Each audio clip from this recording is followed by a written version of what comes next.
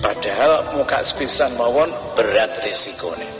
Sapa sing kondo Gusti Nabi Muhammad sallallahu alaihi Man aftara yauman min Ramadan min ghairi rukhsatin rakhasaha Allah wala maradin lam yaqdiha saumud dahri Sapa sing muka sedina wulan Ramadan tanpa ana udur lan odak lara dak cukup dikodoni setahun.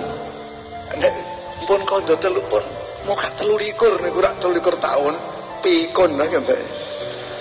Eh, kemen kemen niku tiang-tiang sing boten syukur